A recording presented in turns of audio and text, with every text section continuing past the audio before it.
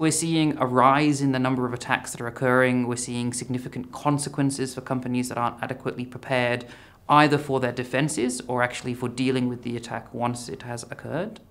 Uh, so the stakes have gone up. We view the opportunity and the cybersecurity problem as being a collective and a shared responsibility. And we find a kindred spirit in the University of New South Wales in that desire to work with the community.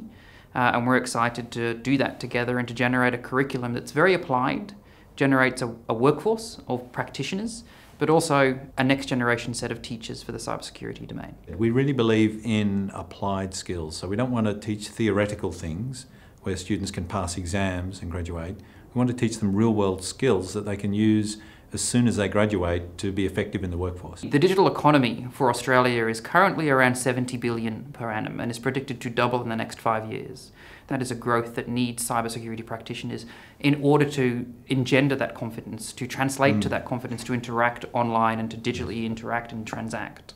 At the moment, we don't have enough graduates that are coming out of the education facilities to fill the jobs.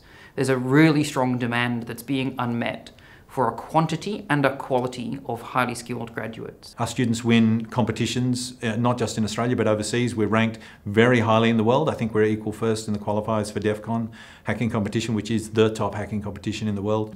Our students are gobbled up as soon as they graduate. Often even in second year they have job offers. So we've been very successful, but we only produce a small number and this is going to allow us to scale it up to produce a large number. CBA has actually helped us for many years in our cybersecurity teaching. The resources they give us and the greater access to CBA staff lets us have professionals come in and help train the students. A lab gives a physical focus to the course and it lets students actually apply and carry out the skills they need.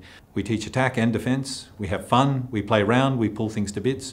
You really need to understand the mind of an attacker to be a good defender. We're seeking to ensure that the graduates of this program and the people that undertake the MOOC course online uh, do really have that. They've got that skill set and that knowledge that is the latest and the greatest and is applied. This isn't just helping CBA clients, and this doesn't just help UNSW and UNSW students, it helps everyone. We just see it as a national problem that needs a national level solution.